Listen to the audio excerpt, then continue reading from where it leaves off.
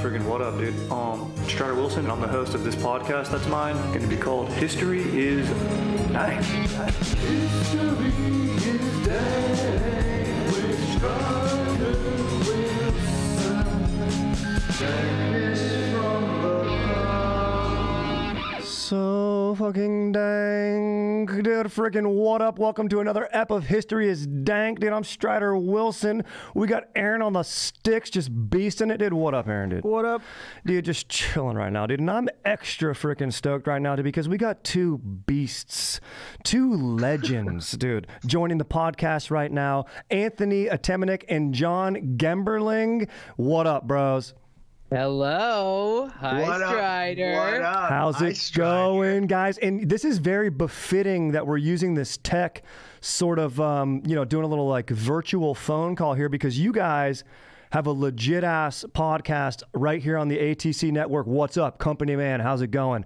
Getting a few pats on the back at the holiday party. you know what I'm Thank saying? Uh, the Phoney and Call-y podcast with Tony and Johnny. Dude, I listened to it. It's hilarious. You guys are awesome, dude. You did?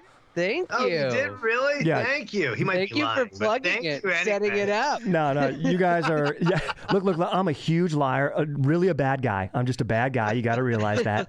Uh, I will hurt people I love, uh, and I do it frequently. And uh, but you guys are two buddies. One of you is in New York. Who's in New York right now? I'm in New York. John's in L.A. Okay, Tony's in New York. and John's in uh, LA. We we took our phone calls that we've had for years since we moved to L.A. And during the pandemic, we went, well, why don't we just like uh, you know turn it into a podcast? Maybe make some dough off of these dithering, confused phone calls. And uh, that's what we did. It is. Uh, but we do have a, a big special coming up Monday, the 20th, this Monday. It's a Christmas special with Paul F. Tompkins and Oh, Gil nice. Ozeri and Andrea Rosen, Neil Casey, and John Gabrus. And it is a an epic adventure. Dude, that's going to be amazing. Podcast come out. When does this episode come out? This episode is going to come out on two a uh, week from today. So the 16th plus seven. okay, what is that? So it's so- going to be so- passed. So forget it. Yeah, but you know what? If you didn't listen and you're listening now, go back. Can they can they revisit the special? Is it going to be like posted? Yeah, it's No, going to be. them. It's, We it's delete them supposed so the, the next day. Yeah, did we delete it today? Well, here's the thing. You guys like to punish the listeners. If you're not there, get out, you know? You're either Yeah, on board. that's- There's two things in life. You're either in or you're out. And it sounds like Yeah, you're we not in, treat it like out. improv. Yeah. We treat it like improv. We release the podcast for the duration of the podcast, and then we just r- erase it so there's no record of our work. Could I be so bold as to say you guys are sort of the jazz of podcasts? Would you say it's just sort of just, you know, getting in sync, being in tune, real, just really listening, you know, just really listening and dialing it in. Sometimes We- it's beautiful. We flow, but we also do a lot of um, production afterwards. So You got to. You got to these days. What do you guys think of my um, sick ass song? Did you guys like the bass on there? I get I get a little bit Oh, we love the worried song. that there's not enough I love bass. the opening. you guys were There's not. There's. Ba- you guys were fired up on, on the amount of bass. Yeah, Yeah. I love bass. Okay, bass good. was jamming. It was pumping, and you know, John does all the music on our show, so like, you know, that's the real ear right there. You guys are You two. know. You guys are two very talented fan uh, guys. I was going to say blend my sentence. I've been a fan for and a long fans, we're time. fans. And yeah, what, what are you guys fans of? You guys got teams, huh? You guys got teams. Um, you guys, who I wanted to ask you guys, because you both do great character stuff that I've seen and impressions. And uh, John, you mentioned your musicality, which is awesome. Um, Thank who are your guys' Is like big inspirations? I mean, are you guys like Jerky Boy fans, Crank Yanker fans? You know, just sort of talking a little comedy shop before we dive into our history.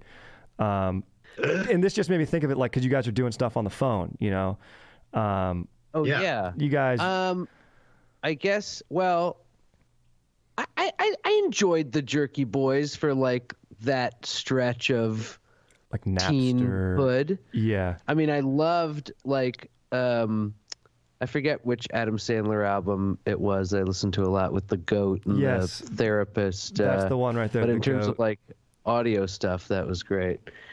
Um, and you know, like Kids in the Hall, Monty Python. I had a Monty Python album of all their songs that I listened to a lot I'm- as a I'm kid. old.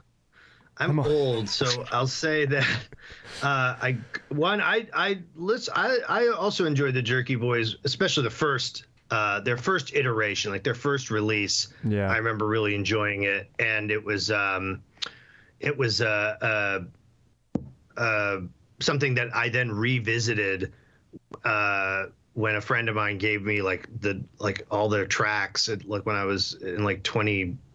2009 or something. I was like, oh yeah, I was like, they were so good. So I love that. I always love the phony phone calls on Stern and stuff. So good. Um, but but I would say my, you know, the people. I mean, I'm, you know, I used to listen to three albums over and over again, which is a Robin Williams album, a Richard Pryor, and a Carlin album when I was Yeah. a kid, because that's what my dad had in the house. yeah. And then I got into Redd Foxx. I started to find like old Redd Foxx stuff, and he was fucking filthy Yeah. uh, and wonderful. And even Moms Mabley, like all those, you know, all those folks. I like the lineage of people who were willing to like really say shit. Those are like my, those are my favorite people. And Oh, I listened to the Denis Leary album a lot. Speaking oh of, yeah, Denis Denis- Leary. do you guys like Bill Hicks? And I worked.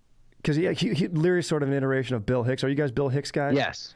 Okay. Yeah. I like Bill Hicks. I love Bill Hicks. Um, I had a roommate who listened to Bill Hicks too much, Yeah. and Just you're it hearing turned like the, me off a my bit. devil's dick, the devil's dick, blah. Like, Yeah. There was a point at which I was like, uh, enough, uh, enough Bill Hicks. And, but Yeah, then also like even people like Elaine, Elayne Boosler and Rita Rudner and, and, uh, Emo Philips. oh yeah. Like, you know, I mean, I just think about the people who I like watched when like I, we, my family got like HBO.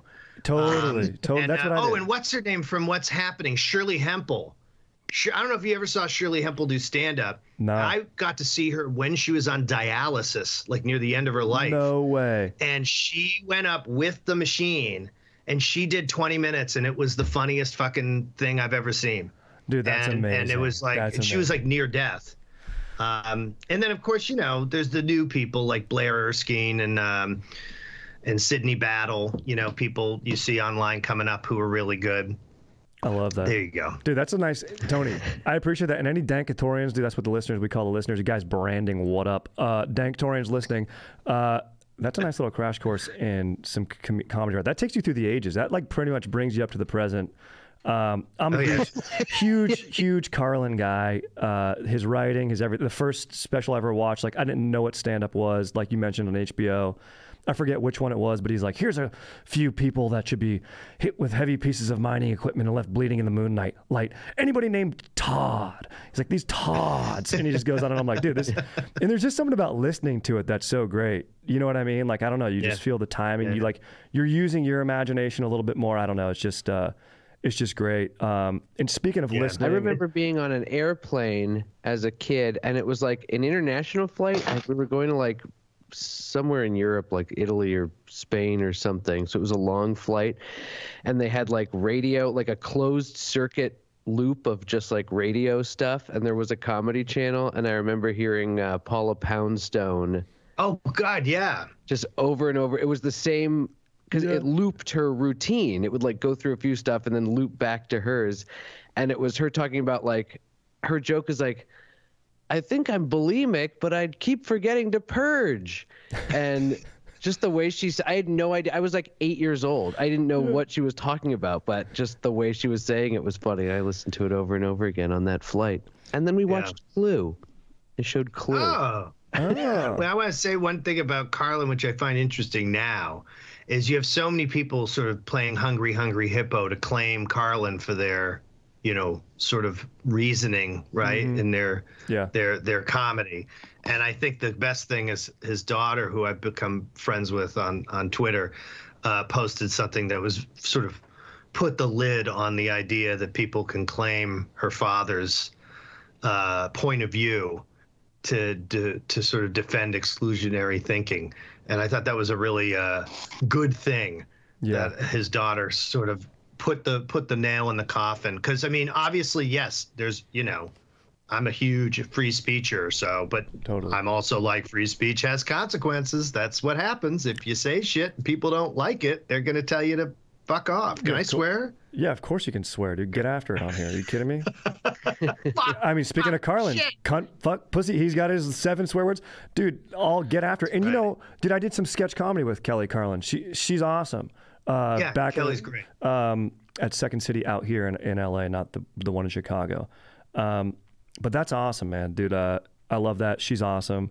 Um, so real quick, before we get into our historical topic today, which is going to be Very the invention of the telephone in honor of your guys' um, phoney call-y podcast with Tony and Telephone Johnny. based. Exactly. I'm like, let's just get Thank you for it. tailoring the content. I like it. I'm like, look, let's just get in, let's get in, get after it. I think you guys are going to have some nice opinions on it. And what we do to sort of kick things off on here is do like a brief personal history share. You know what I mean, dude? So I'll go first to give you guys a little example. And I think a fun one could be um, just basically like what hap- what's your biggest piece of personal history that maybe happened over the phone or what did you hear on the hmm. phone or something that involves a phone in any fun way doesn't matter. Dude i'm fired up to talk to you about haver supply dude. My boy brad is putting out epic lids dude. Vintage bespoke lids. I'm sporting mine right now dude. I love it dude. Honestly dude it's such a sick lid that i can get away with using the term sporting which is what i feel like something dads do dude but I'm not a freaking dad, dude. But you know what, dude? Even if you are, dude, you are not done being cool because you got your epic lid, dude. Vintage throwback style. I wear it when I'm cruising out golfing with the bros, dude. Christmas tree hunting with the dank fiance, dude, and just cruising around in my car, lid back, no shirt on, dog in lap tunes blasting, feeling good. It's my active lid, dude. And right now, dude, for listeners, you can get 20% off your order with code DANK at checkout. Go to haversupply.com and enter code DANK at checkout for 20% off. That's haversupply.com, code DANK for 20% off at checkout. This app is also brought to you by Green Chef, dude. Green Chef makes eating well easy with plans fit for every lifestyle, dude. My freaking dank fiance and I, we do the plant based one. And I'm telling you right now, I don't miss the meat. It's delicious. Dude. I don't care what your diet is keto, paleo, vegan, vegetarian, gluten free.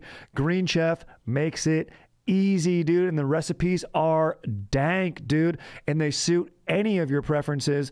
So, and it's also sustainable, which fires me up. So go to greenchef.com slash dank10 and use code dank10 to get 10 free meals, including free shipping. That's greenchef.com slash dank10 and use code dank10 to get 10 free meals, including free shipping. Get Green Chef, the number one meal kit for eating well. Um, for me, one of my biggest moments on the phone was, and this might age me a little bit, this was before cell phones. And in sixth grade, I asked out Danielle Schultz um, to be my girlfriend right, yeah. right before summer strategically because if she said no, then no one would see me at school and it'd be fine. It'd be summer break, so it'd be chill. But she said yes. She said yes. And dude, she's a very kind person. Then my buddy uh, Cinderhoff came and told me, he's like, Danielle doesn't even like you. She just said she might be able to learn to like you. I was like, fuck you, but that's so nice of her. so it's pretty incredible. Um, then I remember this is before cell phones, dude. And I call her up on her house phone. I use like the school directory book that you got that had everyone's phones listed in it, where we also used to like blindly scroll our fingers through in high school and like land on a girl's name. And it was like, you got to call Christy. Uh, also a fun game we used to play. But I, uh, so I called Danielle, being like, she's my girlfriend now. I got to call my girlfriend. You know, this is what I got to do. I just pl- I just played Goldeneye. I ate some nuggets and I got to call my girlfriend. And I, I call her up. Her mom answers, dude. Uh, I'm like, hey, is Danielle there? And this was right before summer break. And uh, she's like, uh, okay, let me go check. Hold on one second. She comes back. She's like, oh, Danielle's doing homework. Um, can she call you back? I'm like, yeah, for sure. She never called me back. We never talked again. She's married and has kids now. Technically, never broke up. My God, she's cheating on you. Yeah. Polygamous. She's Yeah. a polygamist. Yeah, she's pretty progressive. Progr- it, I think she did ballet, so real progressive in probably a lot of ways that I'll never know about. So I'm over here, Oh my. You know. So that's basically a big piece of history. Basically informed the rest of my high school career and dealing with ladies, and, and led me to. Oh, totally, dude. But I told myself from that moment on, first lady to have repeat sex with me, I'm going to lock it down, and I got engaged. So this past summer, so I'm fired up on that. Congratulations. Yeah. This past summer was the first repeat sex Yeah, that's it, dude. experience. Yeah, yeah. Repeat sex experience. You know, I'm, I'm uh, you know, a few decades into my life and then some, and I finally had that, and I'm like, this is nice. I'm gonna keep this going. Um, Do you want to be a team? Before that was like one and done. It was just bee sting sex. That's what I mean, dude. A lot of my bros are beasting sex. They're like, look, dude, I got after it. Um, it was fun. Got my nut. For me, it's like blah, blah, blah, blah, 45 minutes, then my turn. And that's sort of my style. And It's binary. It's still one at a time. yeah, it works. You know. You know the bee dies after. Yeah, yeah. The bee. uh, Yeah, the bee does. There's a lot of vicious sexual acts in nature. The praying mantis eats the male. We got lucky Wait, as the bee dudes. dies after sex? Yeah, yeah. The bee. No, the bee dies after a sting Oh. and after sex. But I get you got to imagine a good a good sting, Bees John, die twice? might make the bee come. A good sting, if it really gets you nice, you know, it might. If you got a really, you know, a sadistic bee, it might not Yeah. stinging you. Well, that's Tupelo honey. People don't know this that Oh. Tupelo honey is bee cum. Oh, really? That's the Van Morrison album as well. Yeah, yeah. It, but I, I don't mean the actual honey. I mean the Van Morrison album is made out of bee cum. Oh yes, yes, yeah. I mean, that's the wax. That hey, that's how they do it. They put it on Yeah, wax. press. Van, That's how they put it, it. on wax. You know, and then. Uh, When so, you say a lot of people don't know this, Tupelo honey is bee cum. What does that mean? yeah, Tony Explorer. Well, it's actually uh, it's a b- it's a novel I'm writing. oh, really? Is it bee cum? no, it's bee vomit. Honey is bee Okay. vomit. Oh, That's really? what vegans will tell you that. Vegans will like, you know, have an apoplectic fit about it. I heard that honey never goes bad. Is that true? Like jarred honey, like you could put, you should put that in your. Yeah, you You look like two guys who got doomsday bunkers. I mean, I look like two fellow. I'm talking to two fellow patriots here, and I got to say, we both got doomsday bunkers, and all three of us. And I mean, do you got honey in there? So, guys, quick No, pro tip. I have I have my water filtration tablets though. Oh yeah, I have a military grade water filter that I have no idea how to use that my Dude, uncle bought me. That's. Did you buy that like in COVID? You're like, I need to get my own water. Like you have like charcoal shit that like you know gravity will. Yeah. Oh, that's amazing, dude. Yeah. Once my dad ordered, here's my favorite is my father, because I was telling my dad how I'm getting canned goods and like making sure to just in case things go south with the pandemic in, in, in March of 2020. And my dad, who is like, my father's like a hip musician guy, like not religious, not anything, but for some reason he was like, I don't know, man. I caught this thing on some channel and they were selling food buckets. So I ordered one of these food buckets thinking, hey, that way I'll have some food. And, and I was like, what did you watch? And he's like, I think it was like Jim Bakker. I was like, Dad, was like, what are you doing? He was like, it was pretty funny, man. It was, it was, uh, it was wild. They're crazy. And he's like, now I got this stupid bucket. And he just like bought one bucket of food and he has it in the basement. What He's kind of food is it? Constantly. He said it was some like co- like like some like rice and cheese combo thing, like something disgusting. In a bucket? Dude, that's amazing. That's hilarious. Oh my god. I don't understand what what are you living for? Like if you like I got a bunch of food to last me like an extra month and John, then I die like a month after everybody else? Exactly. You get you get to watch everyone you care about. You're basically guaranteeing more sadness for yourself. Like, I want to watch everyone die, have a bad meal, then die. Like, Well, yes. I want the road. I want the road. Oh, or bro, the road, I yeah. want that like Yeah. that like I just get by and I'm in a hovel and I have just a can and I find like a I find a winter jacket and that's my jacket. And There's some child I have to protect. dude. p- what is apocalyptic life worth? fashion is oh, the pretty child sick. is giving you a sense of hope. The child's giving me a sense of hope. so you've got to get a child. So I gotta find bunker, a child. The bunker has So I to have have to kid- canned food and a child. In the post-apocalyptic i have to kidnap a child because i don't have one.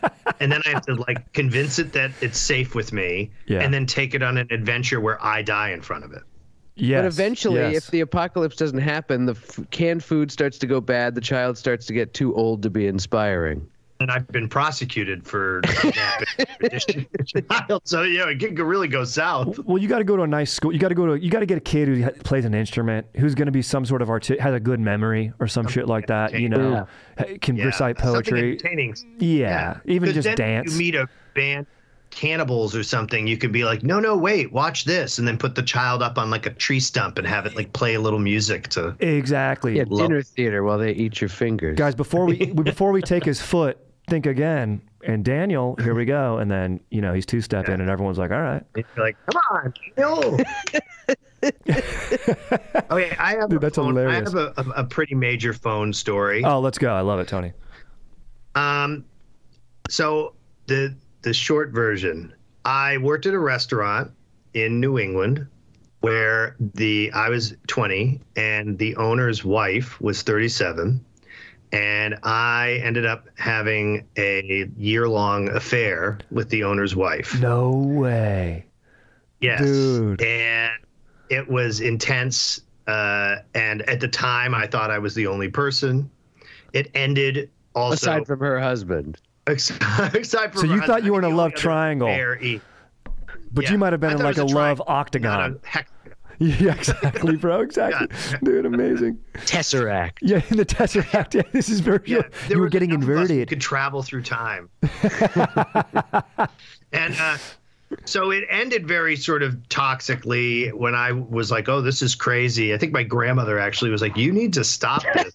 It's like telling Dude, about it. amazing, bro. And so I tried to get out, and I ended up actually moving to Los Angeles to get out. Like Whoa. I had to like leave the job, and like I was leave, I was getting out of college, so it made sort of sense. And I moved to LA, and a few years later, uh, I'm at an apartment that I wouldn't even live at. I like was couch surfing, and somehow this guy got my number, and I get a phone call The from the husband who I knew and like knew well. Like we went on vacations together and all kinds of stuff when I worked at this job, and I liked It was a him. true betrayal. A true betrayal. Yeah, this is Betrayal, some a Shakespearean. True betrayal. And uh, he just said, "Hello, this is blah blah blah." Um, he was French. He was a French pastry chef. Dude, you must be Um, good at boning, and- Tony. I just want to say that. If you are able to up a French dude who makes good pastries, that means you're good at boning in my book. So Thank just you. want that noted for the listeners. I was delivering the pastry cream, if you know what I mean. Oh, yes, I do. Because guess what? I'm a pervert. All right, dude. Uh, this is a great story, And Tony. confronted me. He confronted me, No and way. I confessed. And I said, you know what? I said the best I can do is be honest with you now. And it turned out that he was in a divorce proceeding, and there had been a number of other people who this person had been in an affair with. And I, I was like, what can I do? I was like, I am like, I left this behind, you know, but I realized like obviously it's open for you. And he was like, well, you could give a deposition because she's lying about all the uh, affairs. And so I gave a remote deposition Dude, for him in the divorce in order to try to correct my karma. That's a good move. They- I, that's great. So you double fucked his wife. Yeah. Uh-huh. You betrayed both of them. That's amazing. That's hey, John has an undeniable point here. He has an undeniable point, and you know what? Damn it, do I respect Tony's integrity, and I I, I love the redemption. Um, Thank you. look, look. i- i- If if if later, I, or at least just honesty here on the podcast. Uh, that's what we're all about here at History is Dank, dude. So Tony, appreciate that, and John is so right. You double fucked his wife, dude. Yeah. His integrity. Amazing, dude. So you got that flipped- call out of the fucked blue. guy's wife, and then he flipped on her. Turned state's evidence. Yeah. Full immunity. Dude, that's gold. Oh my That's God. gold. Hey, you did not. Com- you're not a perjurer, though. You did not not commit perjury in the court of That's law. right. I didn't commit perjury, at least in that. Yeah. Yes. At least in that instance. Um, He's not a perjurer. He is a perjure. yes. Uh, John, what's up, dude? You're up. 'cause he Your turn. vomits. Try to top Tony's story. I mean, Tony, that's a great story, man. I, that's amazing. Yeah, come on, Johnny. That's some life experience, guys. No, I can't top Tony's story. you don't need to one up. It's a Uh, personal thing. We can't compare. Compare and despair, guys. Yeah, for life. I hate to do that. I hate that thing in comedy where it's like comedy contest. I'm like, dude, I hate that type of shit. Let's just let everyone go up here and say Uh, yeah. their piece. Well, your story about asking, I, I think I only ever asked one girl out in school, hmm and I called her. I didn't think of the summer thing. Yeah. Um, so I'm I very called her, I think, just in the middle of the year. I don't remember her last name. Her name was Savannah, though, her first name. Whoa. um, Here we go. Here we go. Um, what And, year are we uh, talking? what uh, what grade were you in, John? I High school? know. like mm, eighth or ninth grade, Okay. Okay. eight, nine, tenth grade. All right. And I was like so nervous to do it because I'd never done it. I was like, "Hi, it's John. What do you want to go?" I like said it all in one sentence, and I like get to the end of this sentence, and she goes, "John, which John? John who?" I was like, "John." Uh. Timberlake." And I like hung up the phone. I was like, no! Oh no! Oh and the next day, the next day, as soon as I get to school, my friend Mike, who was good friends with her, like immediately walks up to me and was like, uh, Savannah said you called her last night. And uh, I was like, really? Like, you asked her out? The way he said it was like, what did you think you were doing? Yeah. like chubby little fucking. you uh, asked because she was beautiful. She was like gorgeous. Um, and I was like, yeah, yeah. Dude. Um, It's tough, man, putting yourself on the line, and especially that age, man. Eighth grade, middle school, formative years. Not easy, man. Not easy. What is it about being like I was the uh, I guess you were sort of heavy in at that time, John, and I was the opposite. I was like rail thin with a huge nose, which is still here. Yeah, I was rail Um, thin with a tiny what- penis. Still,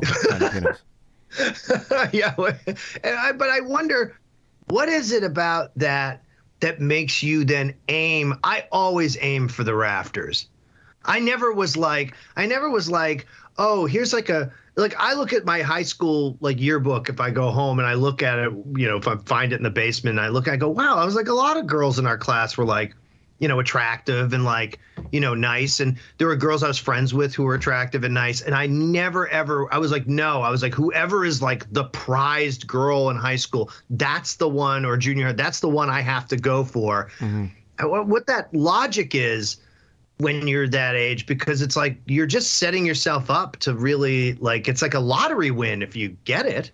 I mean, it's whoever you become infatuated with, I guess. I mean, my my romantic experiences have either been with people I was infatuated with to the point where I had to overcome my nerves at approaching them, or people who were just attract so attracted to me that I like didn't have to do any of the work and was basically like, oh, okay.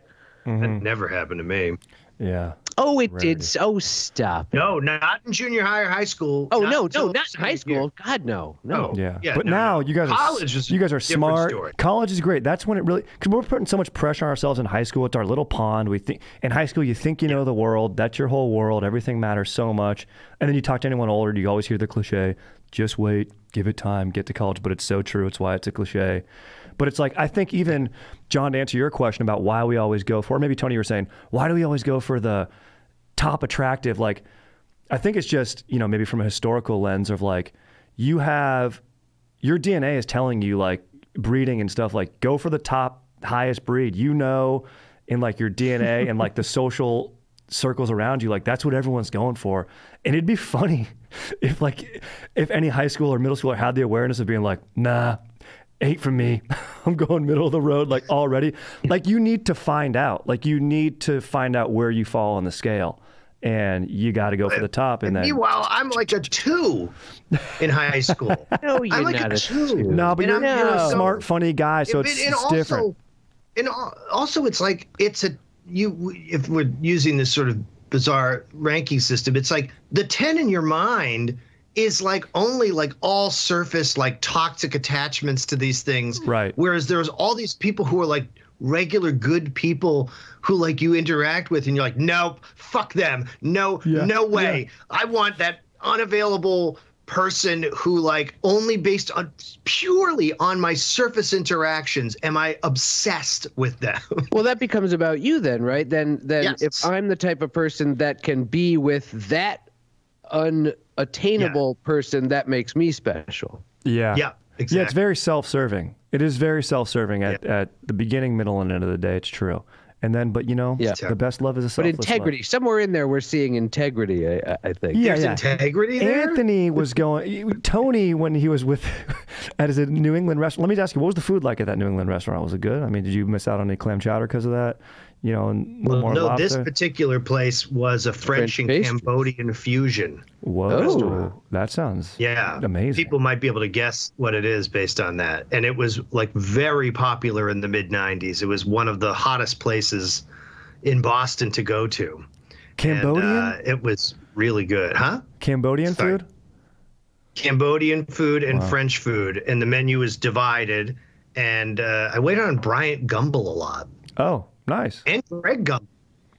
Bryant Gumbel's Greg got one of my favorite quotes from And the they Magic ordered the Bird gumbo. There's yeah. no gumbo. gumbo, gumbo got the gumbo. uh, dude, that's hilarious. Well, dudes, let's just move through our, into our historical subject. Now, you Dankatorians have gotten to know Tony and John a little bit more, um, as have I. Two great dudes, great bros. Um, real quick, actually, I want to ask you guys this before we dive in. How did you guys become become bros? I mean, I'm fired up on on how bros meet and sort of like you know I love love and I love a nice meet cute and film, but I also love friendship. And how did you guys become friends, or um, you know, did it slowly Well, we develop? met or in uh, New York at the Upright Citizens Brigade Theater in maybe 2000. Three, Three? I think. Yep. Oh, nice. Uh, you guys are like and we started guard. working together in an improvised movie class that we both were taking. That's pretty sweet. and Um, I was and I was taken with John's portrayal of a weather system in, in, in first class. we were doing a and, uh, disaster movie format.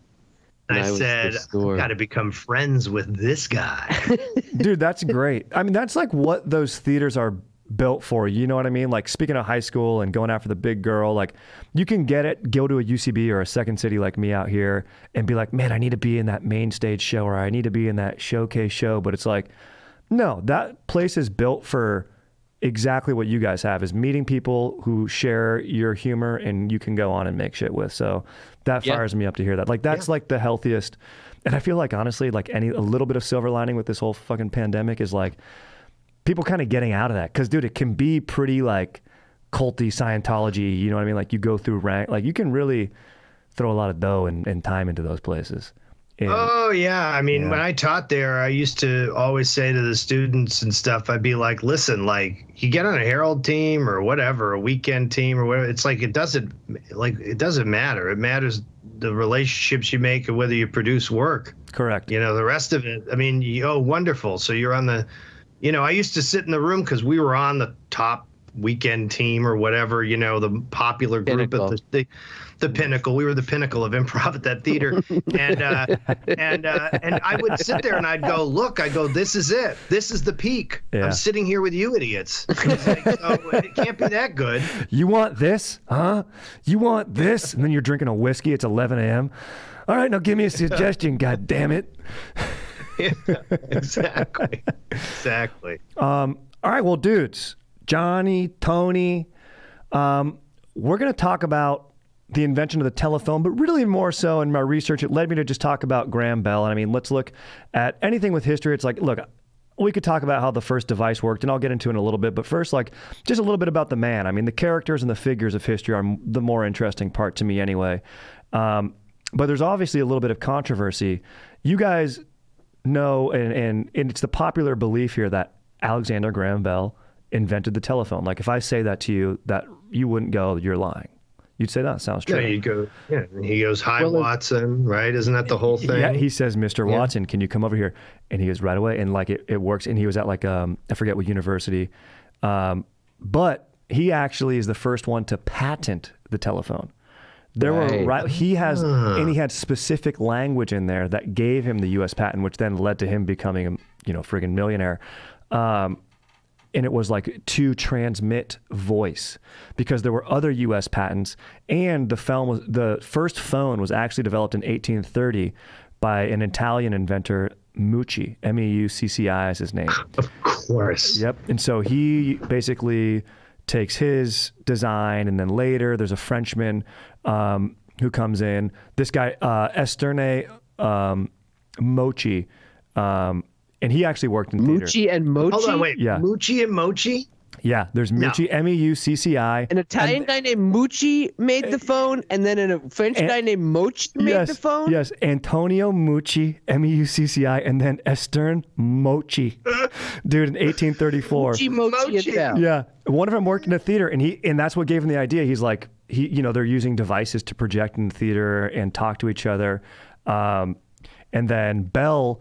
He he was um, interested in creating the telephone because his mom was hearing impaired, his wife was hearing impaired. He actually met his wife like working under his father, who developed like a visible, um, uh, not braille, but just like visible signs that then deaf people would it would indicate them to make an auditory noise, so then they could sort of speak with people or something like that.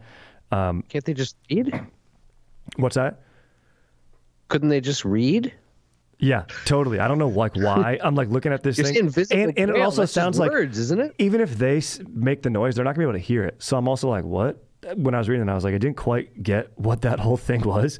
But in any, Well, a lot of they had to learn a lot how to uh, make sounds, make intelligible sounds, even though they couldn't hear it. My father actually worked in a school for the deaf. oh really? As his service during Vietnam, he was a conscientious objector, Oh, whoa. and he was assigned to work at the Lexington School for the Deaf. that's amazing. Oh wow. Okay, well, John, that's why I'm. We're f- fortunate to have you on here and your father's experience, dude, because that keeps us up to speed. And so, uh, you could say that Bell had an investment in hearing and in, in phonics, and he worked with uh, transmitting sound waves, and then he he gets uh, some investors later on that really set him up for success to create the first uh, patent of a telephone, and obviously using the models from Meucci and Mochi, which is amazing. Meucci What and year did Mochi. he develop his technology? So Meucci was 1830, right? And then on February 14th, 1876, and this is hours before his rival, there's this lady, Alicia Gray. She filed a patent, but like I mentioned, it didn't have that specific um, language in there. And then on March 7th, um, 29 years old, Bell was awarded that patent, dude. 29, in dude. 1870, so 40 years after Meucci. Yep, 1876, so about 40 years. And then the really the Frenchman made like the biggest step in 34. So yeah, about 40 years, 40 and change years. But he was 29 years old when he did that. What were you guys doing at 29? Pinnacle. You guys were Pinnacle at UCB Theater, I would imagine. At 29, what would that be? 30 would be 2004. That we were meeting. I was meeting John. Oh, at Oh, that's 29. great. You guys were you guys were dominating. That's I love that. I like to think to, to myself. I go when I'm laying in bed at night. You know, after I've brushed my teeth, thinking back on some jokes I had that day, and you know, sometimes they don't go so well, and I just go "Ugh," to myself. Uh, I'm thinking if I was 29 and like I didn't have distractions, like I love bonfires, I love playing beer pong, um, I love gaming, and, and you know I do, and I'll say it, I love jacking off. Um, if I didn't do those things, I would say to myself, do you think I could have been a doctor? Like if I didn't have these, like, if, like if it's 1876, you know what I mean? Like, I don't have distractions. Like, yeah, jacking off exists, but like, there's no internet. Like, I would just be dialed in and focused, right? And I, I mean, I'm sure Graham Bell was jacking off on his phone. and you got to imagine, oh, totally, Yeah. dude. When On do you his think? prototype. When did the first person have phone sex after that? Psh, come on. I think when he said Watson, get over here, I think he so he did tell him to come over here. Bro, cruise over. I do kind of like that the first phone call was like, yo, let's hang out. Get over here. Like, it's just, come on. Um, that's hilarious, dude. Dude, some other fun things about Graham Bell. You know, he invented a metal detector. Uh, Oh, yeah, uh, James Garfield got shot, and he was actually killed. He was an assassinated president. Um, But to find the bullet in him, because he's using like electrical waves and like in developing like dialers, he's able to like, I don't know, he developed some technology, um, and he tested it on like old Civil War veterans who had bullets in their bodies, Yeah. but were like just living with bullets in their bodies, like in their arm or you know somewhere not um, fatal, and so he would Yeah. detect it. But the doctor for the president was so like insecure and egotistical. He's like, you can search your metal detector, but you can only do it on the right side of the body. And he's like, no, just let me do the whole body. And the doctor's like, no, And so he only searches the right side of the body, doesn't find it. And then in the autopsy, the fucking bullet's in the left side of the body, and they weren't able to remove it, and he dies of infection. Wow. So this is when he was alive. hmm This was in 1881, July 2nd, 1881. So right after he developed the telephone. Total hubris. Why was the doctor? Why was the president's doctor so Yeah, he's a jackass. uh, intimidated by? Graham Bell. He's like, He yeah, wasn't trying no, to invent things, was he? You can take your phone, you can stick it up your ass. You know? Like, Yeah, that's what he said. Well, because he's like, I'm the president's doctor, and your magic machine that finds metal is bullshit. Mm-hmm. I'm the doctor. Don't worry, I've got it. Exactly. Also, medical people, God bless them, they're saving us with the pandemic. But they're also like surgeons are like the profile of surgeons is that they're most likely narcissistic sociopaths. Most of them. Totally. people who get into medicine tend to be very like in like you know yes they're very wonderful about taking care of people but it's think of the personality that gets into politics into medicine anything where you are like lauded for being like saving people Correct. you know Correct. It's a and little so bit. That you know that's the personality profile of apparently that asshole Totally, a little bit of a messiah. doctor, name was dr reginald odie really? Oh, you guys are both looking stuff. up. Dude, Tony No, fucking just beat. odie and garfield Oh, yeah. Oh, well, dude, you got to thank Garfield here. And uh, guys, I'm going to go out on a Dr. limb. Arbuckle, get over here. Is this too bold of me to say that perhaps um, Graham Bell's, you know, I would say the telephone is his greatest. I would say patent. I would s- I would amend that here. Not say invention. It's his greatest patent. But it sounds Can I ask Yeah. you? Do you know Yeah. what? Did he develop any technology he did. He that those other guys didn't? He, yeah, he did t- make some advancements with it. He did. Let me see. I put it down here. Um, so basically, his big, um, he had something called a liquid transmitter, which was really big for him. There you go. Uh, and he would put like um, some chemical on there that that is what would um, hit like. So it says here. He had a liquid tr- transmitter, which was basically that's the vertical cone with a piece of Is parchment that just a hose?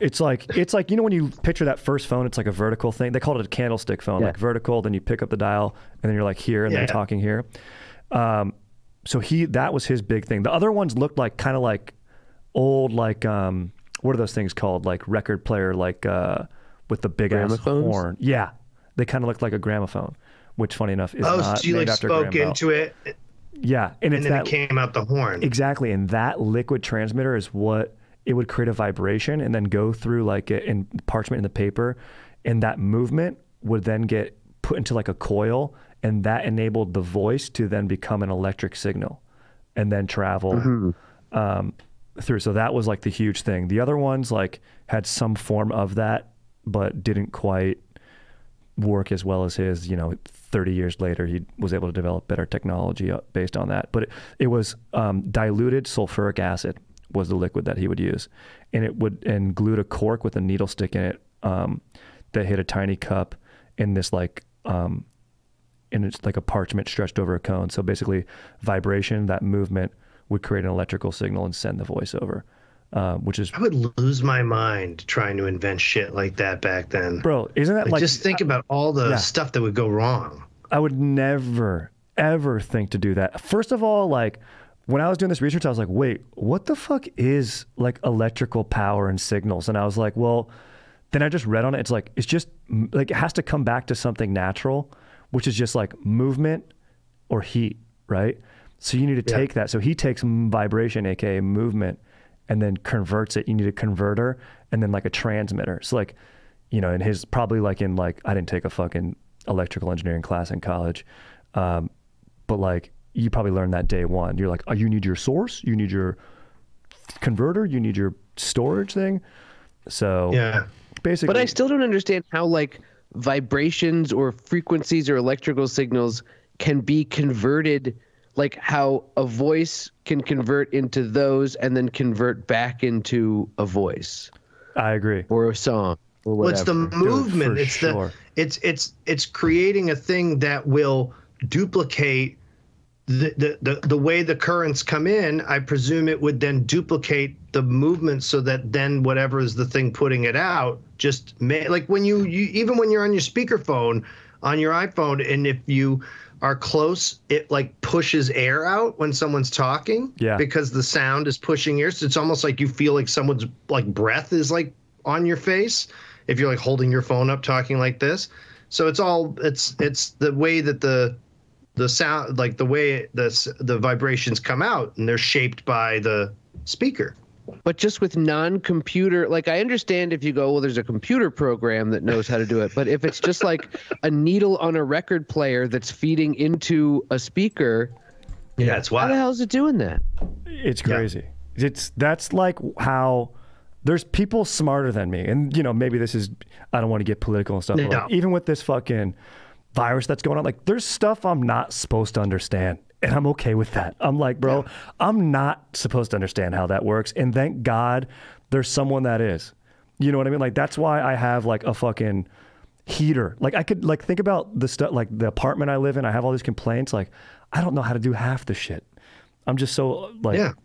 thank God for other people. Except for traffic, get out yeah. of my way.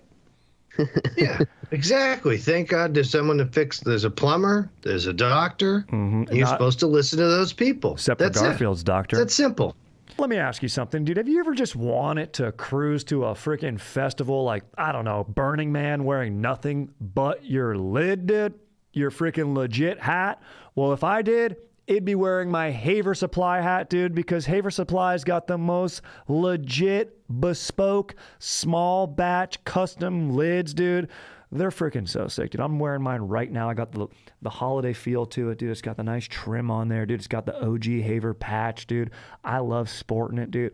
When I'm just even if I'm just posted up at home, dude, sipping on a nice little IPA after a hard day's work, dude, I throw the lid on, dude. Honestly, on the way to work in the morning is how I do my hair, dude throw the lid on backwards, take it off, and it looks sick when I get into work, dude. Honestly, sometimes I do wear it to work, and the manager's are like, yo, you got to take that off. It's the only time I've ever been asked, dude, to take that off. Christmas dinner table, dude. Thanksgiving dinner table, I keep it on, dude. Church, God likes it, dude. God likes that I'm posted up in this hat, dude. And I wear it golfing with the boys, hiking with my fiance, just throw it on when I go out walking the dog. I have it ready to go on my coat rack, which I don't have because I'm in LA. So it's just my hat rack, dude. And I got my havers ready to go, bro. Um, yeah, I'm wearing them all the time, dude. It's got that nice active vibe, dude. It's basically, you know, tailored to the adventurer, surfer, wanderer in you. And um, it just perpetuates that, dude. It's if you want to be, do something epic, dude it makes you feel epic. You know what I'm saying? And honestly, it makes me take even more legit risks now that I'm wearing this hat. Like sometimes, you know, I'll be posting up at home, dude, and I'm like, do I want to risk going and getting a latte right now, walking the dog in there, dude? And sometimes Sonny gets scared. He sees me put the lid on, he trusts me more, dude. That's how legit this thing is, dude. For real, dude. And they just look sick, dude, and they make for great gifts. So this holiday season, dude, listeners, you can get 20% off your order with code DANK at checkout. Go to haversupply.com and enter code DANK at checkout for 20% off. That's haversupply.com, code DANK for 20% off at checkout. Once again, dude, Green Chef makes eating well easy with plans fit for every lifestyle, whether you're keto, paleo, vegan, vegetarian, gluten free, or just looking to eat more balanced meals. Green Chef offers a range of recipes to suit your preference. And dude, I love it, and my fiance loves it because it's sustainable meal kit, dude. Green Chef, dude, is the most sustainable meal kit, offering 100% of their plastic packaging in every box or offsetting, excuse me, and 100% of their carbon footprint and emissions, dude. They offset it all, bro, while creating dank meals for you to enjoy. It's convenient and easy, dude. They're easy recipes. They're meal planning. Just, you know, I cruise in, I grab my little bag out of the fridge and I go, I look at my dank fiance and I go, we got something legit to eat tonight. Let's do this. And honestly, we do the plant based ones. And I'm telling you right now, I don't even miss the meat, and I'm sure the meat ones are absolutely delicious. But you know, me and my my fiance, we like to eat vegetarian, and they got vegan options too, like I just said. So, and they're all delicious, dude. We crushed some harissa spiced uh, sweet potato tacos the other night, and I'm telling you, bomb, dude, so good so good. Felt like I was working in a friggin' restaurant, dude. I was like, I looked at my fiance. We live in LA. I'd be like, I would overpay for these. But you know what, dude? The deal that they're offering right now, that Green Chef is offering right now, is legit. You will be so stoked on it. Um, no matter what your diet is, dude. And by going to Green Chef, dot com slash dank10 and using code dank to get 10 free meals including free shipping. That's greenchef.com slash dank10 and use code dank10 to get 10 free meals including free shipping. Green chef the number one meal kit for eating well. Trust me you'll be giving yourself a good deal and you'll be treating your body right. Legit dude green chef and thank God for Graham Bell for inventing the metal detector, because otherwise, what would adult virgins do on the beach? You know what I mean? true. Like, I'll, I'll, here's what I'll ask you guys: Do you think metal detector usage has an inverse correlation to amount of dong usage, as in boning? Like, do you think the Yeah, more you're using your metal detector, the less you're boning, or do you think it's like maybe you do I bone a lot and you're just like, I like to use a metal detector? I Well, mean, whenever one feel of like- those guys yeah. wands me at the airport, I, I do think there's a bit of a desperate look in their eye. Oh, that's a great call. Yeah, and you got to. Th- do you think that guy's going? Hey, hey, I'll, I'll get on that. I'll get on Juan duty today. I got Juan duty, guys. Don't guys. I'll bite the bullet. I know. I'll be in people's comfort bubbles. I'll bite the bullet. I'll take Juan duty. Yeah. He's like, oh, sorry, we gotta feel you up. Yeah, They always want to check your waistband. every time. yeah, they do. When- Have you ever had your waist? Have you ever been like frisked and patted down at the airport? Yeah, I've never been taken into a room, but every now and then they're like, got to check your waistband. Yeah. And they always do it. Uh, I think, I guess because so many, they have to deal with people every day who are like, I'm not comfortable with this. That they always ask in like the most sort of like, uh, like, please be okay with it. It's like they make it more weird by being like, okay, I'm going to put my hands in your waistband. Is that Yeah. okay? And I'm like, Oh my um, God. Yes. You can like it." fist my ass if I can just get to the plane. I don't fucking care. That's so true, like I do not care about touching my body. That's such a good Get to call. the Hudson News for a six dollar bag of peanut M and M's. You can do whatever you want. Dude, I feel like the image. Dude, you give me a Cinnabon, of- you can stick metal anything in my detector. bum. What's that? What'd you say, Tony? I just, I just feel like the image of a metal detector is such a late '70s, early '80s image. Like the guy on like the, the beach with the metal detector was a big cutaway to establish that you were in Southern California. Like I'm thinking They're real of though. Fletch. Uh, uh, we, uh, anytime we go to the beach here, they're there. Oh yeah, those dudes exist. They're out there. What could you there. possibly find on a heavily populated beach? What treasure could you find? That's what I don't get. I. Has anyone ever found anything of value using one of those metal detectors beyond like a, a coin? You couldn't even detect a coin, I don't think. I know. I don't trust them. I don't trust them at all. I don't trust it. I think they're sexless freaks. I agree. Tony, I agree. You're 100% right. You hear it here first.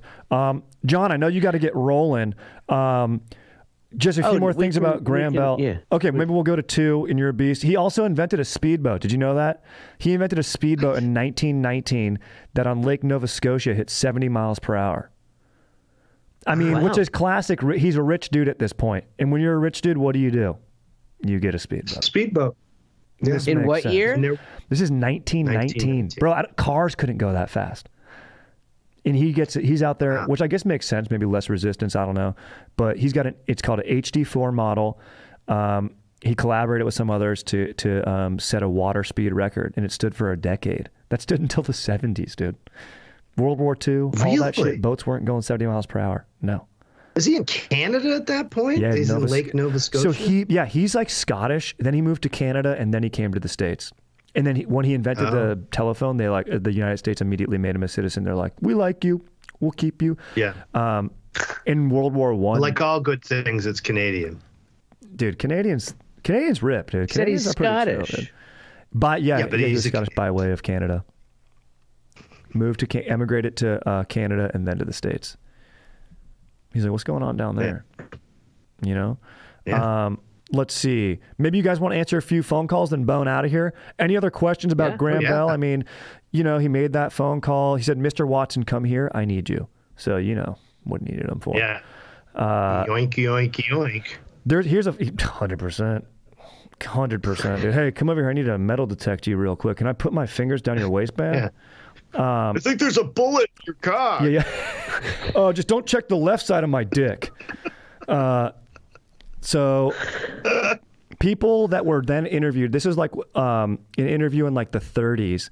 Um, and this was I felt kind of interesting. This is a poll taken of U.S. citizens in 38 and what they thought of the telephone. So 76, it's developed. They said about like seven years later, there was a, a network of cell of, of phones like on the East Coast, businesses and stuff. And then after that, like 50 years of expansion, like basically they're in households and and you know they they have like the rotary dial phone. So people are they're using them widely, right? And of course, the war effort increased it. They try to like.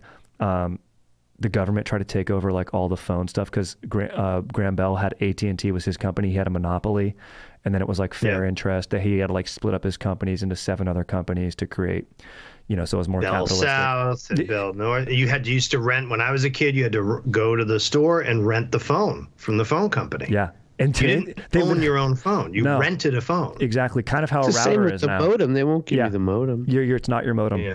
Um, but people said, and this is interesting, of like, basically, the fear of technology has always been there. But they're like, uh, this was basically a question like, what do you think the phone will do for us after 50 years of of usage? And people said, and the, it's sort of a mixed reviews. They said it will create new job opportunities, allow public feedback, make the world smaller, increase contact between people of all nations, and thus fostering world peace. They then said it will increase crime and aid criminals. It will aid physicians, police, fire, and emergency workers. It'll be a valuable tool for journalists, bring people closer together, decrease loneliness. I don't know about that, Danielle. Uh, Bill or John with Savannah. Tony, you got the double fuck. Tony got the double fuck. Yeah, I did the double fuck. Um, Nobody wanted to talk to me after that. they said it will inspire a decline in the art of writing.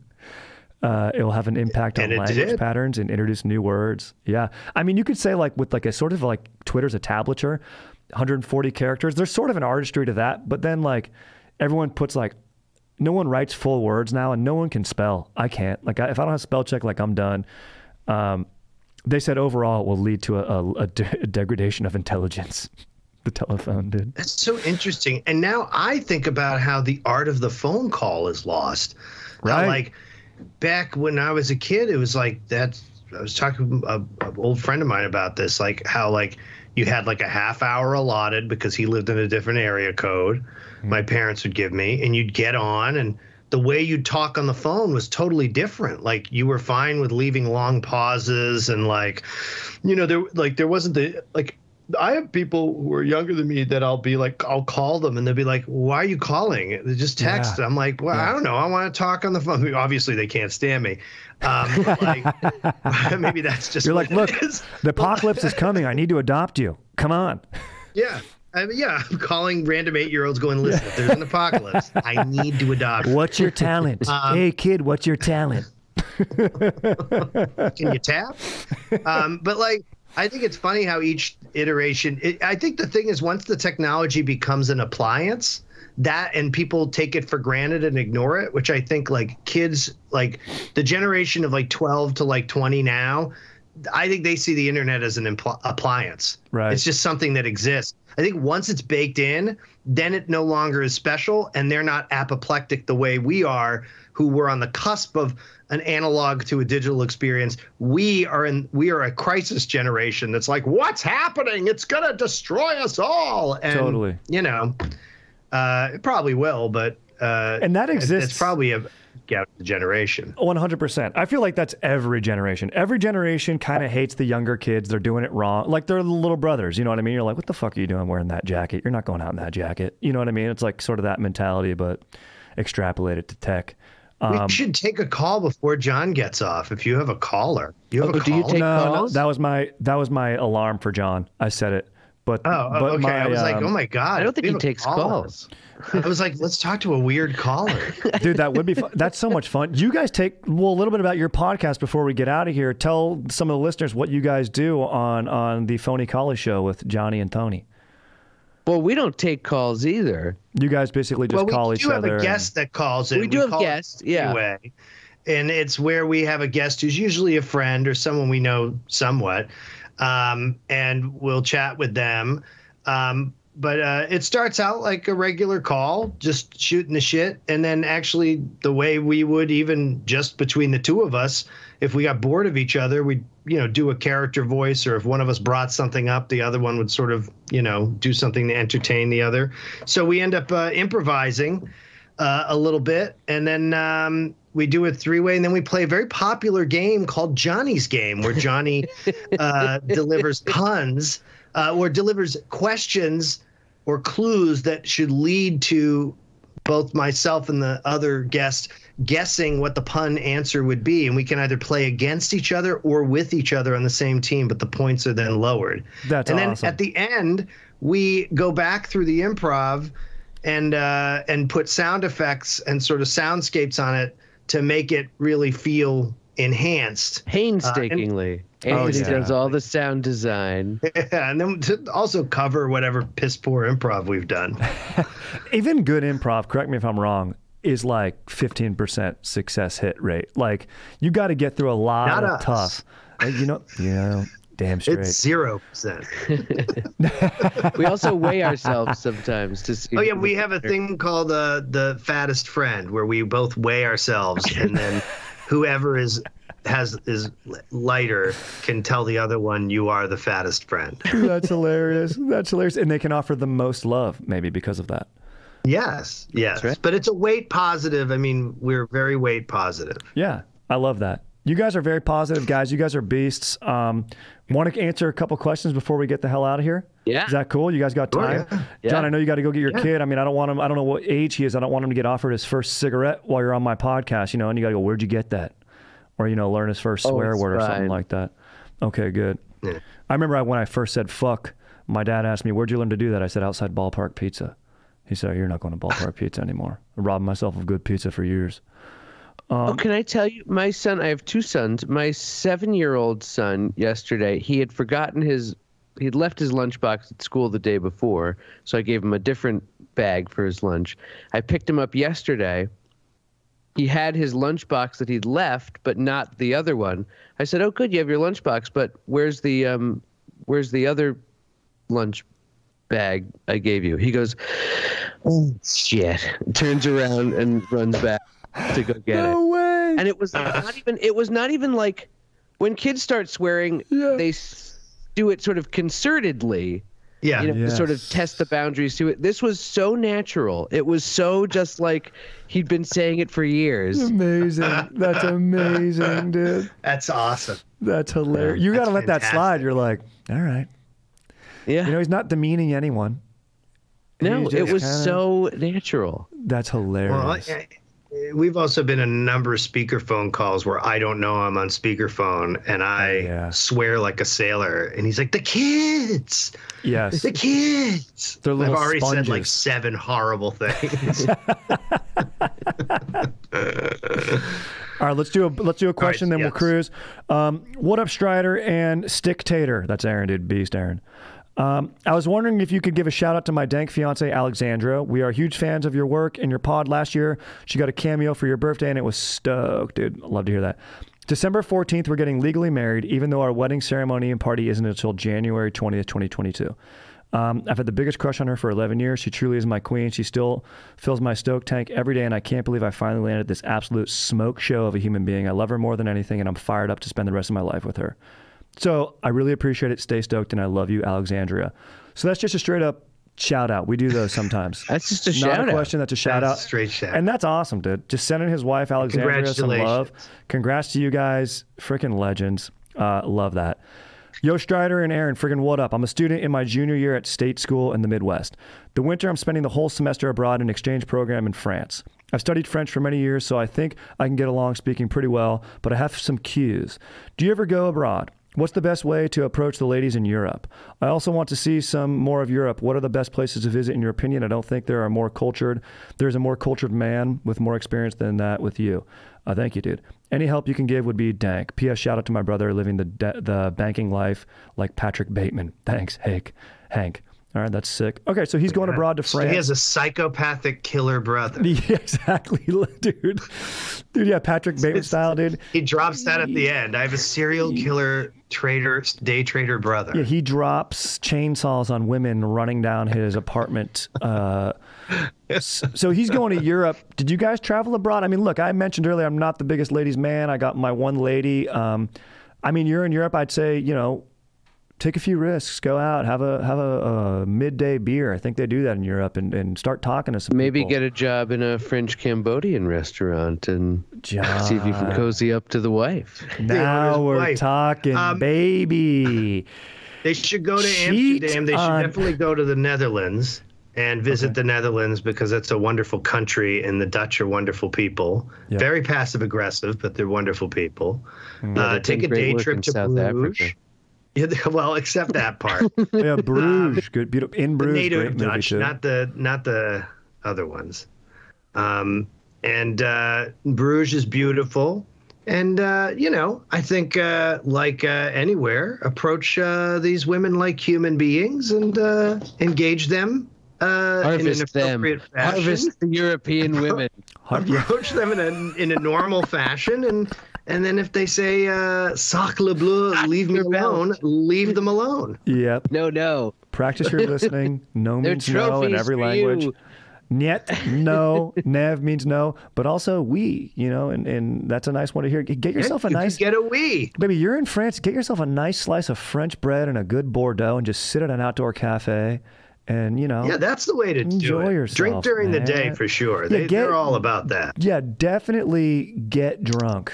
Um, Get drunk and then try to business be women. See how it hours. goes. Yeah. John, what do you think? What's your take? A Any- great time to travel all over the world. That's Yeah, that's this is, a, Yes. this is the best time to be going to France. Let me tell you something, uh, Hank. Don't be dissuaded here by any sort of pandemic or anything. Go out and spread your seed. Uh, enjoy Spread whatever you yourself. got, spread it around. Yes. Get wanded in the airport, and from there it's all uphill, baby, uh, or it's all downhill, I should say. Um, but dude, you know, be safe, have fun, enjoy yourself, dude. Get some culture, go to some museums. You're you got plenty of places to go on. Wa- I imagine every day involves walking in Europe. And That's what I imagine. Go to a yellow vest riot. Go to one of those yellow vest riots. You meet people there. Yeah, they- working people. Yeah, or like one of those um, walking techno fests. You know, you could just do. I feel feel like Oh, they do that in Europe a lot. That's sick. Um, all right, let's do one more, then bone out of here. What do you guys say? Yeah, that's great. Yo, Great. Strider, what up? Um, I want to get crossfaded with my boys this holiday season, but I have so much family shit, and so do they. It's hard to find a day when we are all in town and free. What do you think we should do to have some fun on our tight schedules? Thank you, Trent. So, Where are they? uh, Doesn't sound like doesn't they're able to schedule a day. It sounds like either he's back home, he's back in his hometown. But yeah, they're like, yeah, what's an alt? I don't know, Zoom. Just do like a Zoom. We're not going to throw out suggestions for a, a thing that they can't schedule. Yeah, I don't know what him and his Can well, what are him and his schedule it or boys supposed? They can't schedule it. He's like, I mean, he says they got too much family shit. Um, it's hard to find a day when we're all town and free. So what should we do? I don't know. Well, Yeah. here's what I would do is get a quorum. Basically, Yeah. find enough people who are free. Let the other ones know we'd love for you to join us, but if you can't, we're going to get together because, you know, who knows how the world's going to be. And then go meet at an outdoor place, someplace maybe with picnic tables or something like that. You know, do it on the cheap. Go to the supermarket, get some beers, I like that. get it you know get get get some dogs and stuff do some outdoor winter grilling have some beers hang out then go home I Make a. Google Doc or a Google Calendar, and everybody write down when your dates are and whatever overlaps. You Yeah, know, well- that's your day. What are those things called? Those fucking little Google like those sheets, doodles. People send those to each other. You know what they should do? yeah I imagine Trent's got another dude, another buddy there. Just you got to create a lot. You got to basically you have to one up Christmas or a Christmas Eve dinner by creating an event. You need to you need to lie and say, hey, one of my boys is going to go work on an oil rig or he's having a big surgery. You know, just lie to your friends and family. So the it one beginning of ups- armageddon Yeah, exactly. Hey, Trent's buddy Brent is going to go work on an oil rig. We're not going to see him for a year. We need to go out. So your family, you need to Yeah. create that. So your family, then you just go to your, you know, one of your basements and get crossfaded like you said you wanted. yeah You gotta have an occasion. that Friends, yeah. yeah get high, uh, gorge yourself on Yes. like Five Guys or something. Ooh, Aaron's uh, gonna be get happy to hear that. Fall asleep together. Yeah, dog. I mean, John, you said Five Guys. Have you ever had In and Out? Yes. Oh yeah, Bro, what's better? What's better? I What's the best, John? What's the best in version of an In and Out burger? Burger King's the best. Whoa. I actually Blasphemy. don't prefer In and Out. I've gotten trouble. I, I got in trouble on Doughboys for this. Yeah, this I is, this is I don't bad. prefer In and Out. It's too salty and it goes cold very quickly. Yeah, you got to eat it there. Yeah, it does go cold. Does not travel. Yeah. But most fast food doesn't travel we want a too Burger well. King sponsorship. That's why we we're Smart. We, have been we've been cruising for a Burger King sponsorship For since years. our Twitch channel. It's Branding. not happening. The Phoney double Call-y Show with. Tony and Johnny, brought to you by Burger King. Let's go. Great. We would be so thrilled. Burger King and. Xbox. Those are the two we want. Burger King and Xbox. Yeah. Dude, that would be great. Xbox. I love gaming. Can you imagine? What do you play? What do you game? I Yeah, play what's your game? I do Warzone. I basically do Warzone or FIFA. Oh. Yeah. We're Black Ops. yeah, Black, Black Ops, Ops. very fun. Very fun. I, I We love like first Black person Ops because shooters. you could do the private boards. You know what I mean? You Mhm. could just do you and your and your but your bros. Yeah, we would do that Playing. multiplayer, hard points, really fun. Really Yeah. fun. It's all the time. They have the Well, I'll new tell you a setting if you ever play uh, Black Ops. You want to do two two main weapons. You want to do a bazooka, uh, and, and you want to do that grenade like launcher gun. Okay, so you don't have any main weapon, no multi-fire weapon. It's just bombs, and then you do wild smoke card where you can get two secondary, two primaries as your uh, primaries. overkill. and then Yeah. you do smoke. Uh, uh, you do a, a landmine, Yep. and what, what- what's the other one, Claymores, John? or do you Oh, like and, uh, and grenades, Yep. and uh, and then you sh- really basically shut down all of the like things that would help you. Those those attributes you you make them so that they're not really yeah perks. He usually then- knows the names for these things. I don't know what's happening. That's like- you do it on nuke, you're you do going it in on raw. Nuketown, and that's a fun time. That's not, and yeah, and everyone has to play that way, right? Yeah, everyone has yes, to play the that's same. Yeah, you really fun. rules. Yeah, that's really fun. I liked to in Halo. My brothers and I used to do. We'd play the prisoner level, and we would say you could only throw grenades and punch each other. You can't use weapons. So you'd Yeah. run around and just like try to use plasma, like tag each other with plasmas, and then hit each other. It was so much fun, Yeah. dude. A lot of fight, a lot of actual hitting each other went down after those. Really fun. Yeah, You yeah. were local. Yeah, this was like growing up. This was like I've got three brothers, so we'd all play together. It was great. It was I awesome. Wow. Yeah. Landing, landing the systems It so and nice. playing in someone's house, like bringing a TV. I used to bring a television to my friend's house. Dude, that's what We you- used to go over to much Terry. Jin's house. This is in at UCB. We would go over to his house with multiple Xboxes and TVs and play in separate rooms. Dude, it's so much. That's like the like landing, right? Land partying, dude. Yeah. It's so much Yeah, fun. land par- That's what the holidays is, dude. Trent, that's what you need to do. Go land with your boys. Land. Trent. Go Land land, bro. What are you online doing, dude? Land. And you're going to be getting crossfaded Land. anyways while you're landing, and then no one drives home. You stay up all night. It's great. Um, dude, Yeah. Tony, Johnny, thank you guys so much for coming on History is Dank. This has been such a treat. Thank Um, you. Thank you. guys, this was man. a lot of fun. Thank you What for having fun. us on. so much fun. Um, I could honestly be a fly on the wall listening to you guys go all day. Um, you guys have impeccable taste in comedy. You deliver it uh, just as well. Um, and you guys have freaking salient, dank ass points to make. And you brought the podcast to the next level today. So I'm fired up, dude. I think we became quick bros. Um, and we took the shortcut to friendship through this medium. Uh, We thank you guys so You much. did. You have to come on. You have to come on the Phoney and Call-y show. Please, If that's you something qualify like. for the three-way now. guys, I would love to do that. I would love. Yeah, if you want to know what it's like to be on an unpopular, unlistened to podcast, I've got one rule to come on a podcast is I have to check your waistband first, and I will fly to New York to do it, Tony. I will. That's- Um, I'm fine with guys, it. thank you so much. Listen to the Phoney and Call-y show with Tony and Johnny. They're right here, right here on ATC. Um, anything else to say before you guys go out? You got your special on the 20th. This is going to come out after, That's so go back and find it and listen to it because it's got a kick-ass lineup. it'll be right there. It'll be It'll right, be right there. You Yeah. can find it. It'll be right there. And if Right you go there. to our ATC page, Yes. Are there still 15 copies of each episode on that page? Yes. It won't be whatever the latest episode is. Will not be on the ATC page. Yeah. By the way, yeah, they only have it up to episode four on on ATC. Quality, quality work. well, like we said, you know, before we started, you guys don't get a studio. I get the nice studio. You guys got to do it from home. So I mean, look, I got I got the proper treatment. You know, I mean, I don't know what I'm doing right here, but I'm doing We'll something. ask you. You come on the podcast. We'll ask you about about what. Uh, yeah, we're gonna ask you all about figure what's it going out. on. Let me give you a hint. You got to have the sponsors, and I got Burger King, baby. I got the king in my corner. Thank you guys so much. Stay stoked. You guys are legends. Um, have a safe, Thank happy you. holiday season, guys. Thank you so much, Tony and Johnny.